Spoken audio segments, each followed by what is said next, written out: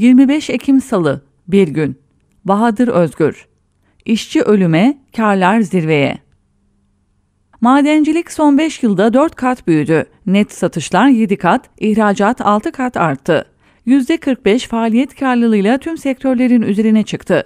Bu büyüme ucuz emek sömürüsü, iş cinayetleri ve doğa tahribatı sayesinde gerçekleşiyor.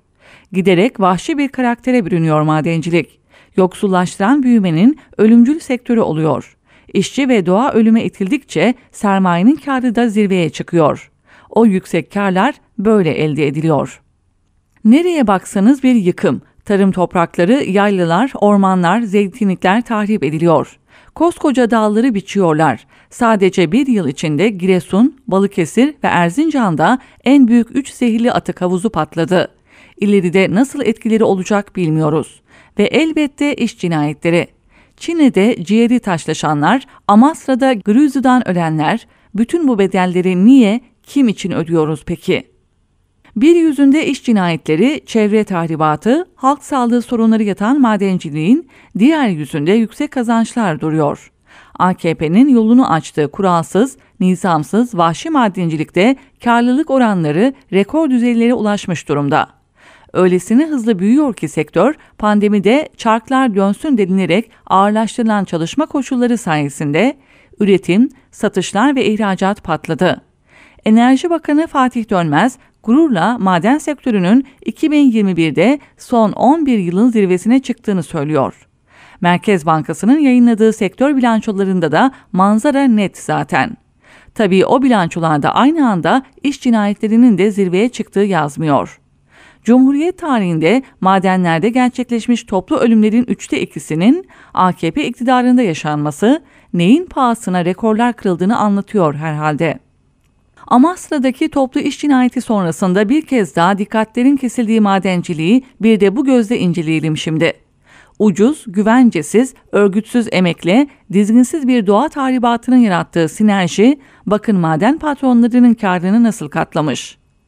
Madencilikte asıl kar metal cevheri ve taş ocaklarında yatıyor. Metal cevheri şirketlerinin aktif büyüklüğü son 5 yılda 4 kat artıp 30.1 milyar liradan 117.8 milyar liraya yükseldi. Pandemi yılları olan 2020'de büyüme hızı %34, 2021'de %59.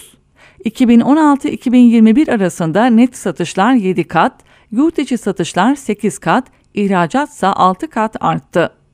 Bu büyüme aynen karlılığa da yansıdı elbette. Metal cevheri madenciliğinin faaliyet karlılığı diğer sektörlerin çok üzerinde seyrediyor. Yine pandemi yıllarına bakıldığında 2020 ve 2021'de sırasıyla faaliyet karı %45 ve 46 oranında sıçrama yapmış. Son 5 yılda ise ikiye katlanmış. Faaliyet karı şirketlerin doğrudan üretimden elde ettiği gelirle ilgili. İşçilik, yönetim giderleri gibi maliyetleri düşürdükten sonra net satışlarının ne kadarının kar hanesine yazıldığını gösteriyor. Haliyle mesele emek sömürüsü ise buraya bakmak daha isabetli.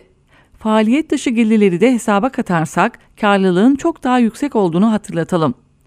Metal cevheri madenciliğinde toplam 30.627 işçi çalışıyor. Sektörün göz kamaştırıcı rakamları üzerinden kaba bir hesap yapıldığında işçi başına brüt satış gelirinin bir yılda 1 milyon 261 bin liradan 2 milyon 64 bin liraya çıkarak %64 yükseldiğini, işçi başına faaliyet kârının ise %68 artış hızıyla 560 bin liradan 942 bin liraya ulaştığını görüyoruz. Bu hızları sömürünün artış hızı olarak da okuyun. Peki rekor karlarda aslan payını hangi şirketler alıyor?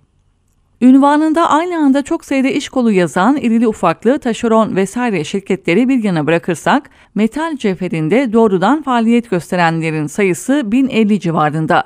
Şirketlerin %75.5'i mikro, %14.6'sı küçük, %6.4'ü orta büyüklükte. Hepsinin satışlardaki payının toplamı %9.5'i ancak buluyor. Yani şirketlerin %3.5'i sektörün %90.5'ine hakim. Büyükleri tanıyoruz. Koç, Anadolu Grubu, Şişecam, Ciner, Eczacıbaşı, Zorlu, Yıldırım Holding, Cengiz Holding, Limak, Eysim Madencilik, Kaltun Madencilik, SSS Yıldızlar Holding, Nurol, Nesko Madencilik.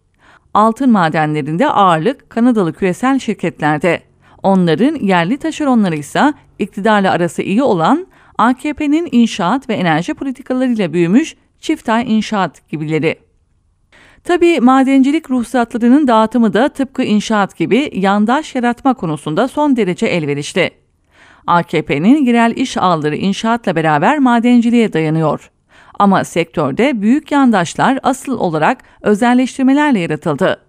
Mesela milyarlarca dolarlık rezerve sahip eti gümüş, eti alüminyum, eti bakır, eti krom, insanın telaffuz etmeye utanacağı bedellerle Yıldırım Holding, SSS Yıldızlar Holding ve Cengiz Holding arasında pay edildi.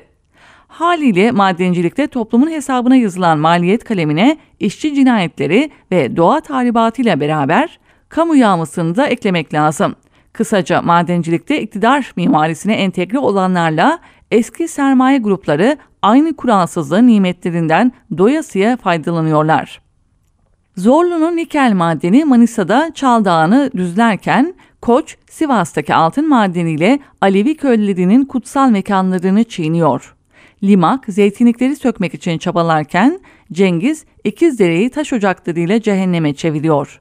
Nesco'nun atıkları Şebinkarahisar'ın verimli tarım arazilerini çürütürken Nurol, Kaz Dağları'nı kazıyor. Esam'ın, Eysim'in, Kaltun'un Çin'deki madenlerinde işçiler 8-10 yıl çalışıp silikozisten ciğerleri taşlaşınca kullanım ömürleri dolduğu için iş dışı bırakılırken İliç'te Kanadalı tekelin zehirli atık havuzu patlıyor. O yüksek karlar böyle elde ediliyor işte. Nasıl ki kamu ihale kanunu sürekli bir değişiklik döngüsüne sokularak siyasi ve iktisadi modelin merkezine inşaat ekonomisi yerleştirildiyse, maden kanunu da 20 yılda 21 kez değiştirildi. Böylece insan ve çevre maliyetini üstlenen, teknolojiye yüzünü dönmüş, kurallı bir faaliyetten ziyade ucuz emek, ham madde yağması, doğal talanı formülüne dayalı bir politikayla giderek vahşi bir karaktere bürünüyor madencilik. Yoksullaştıran büyümenin ölümcül sektörü oluyor. İşçi ve doğa ölüme itildikçe sermayenin karı da zirveye çıkıyor. 25 Ekim Salı, bir gün. Bahadır Özgür. İşçi ölüme, karlar zirveye.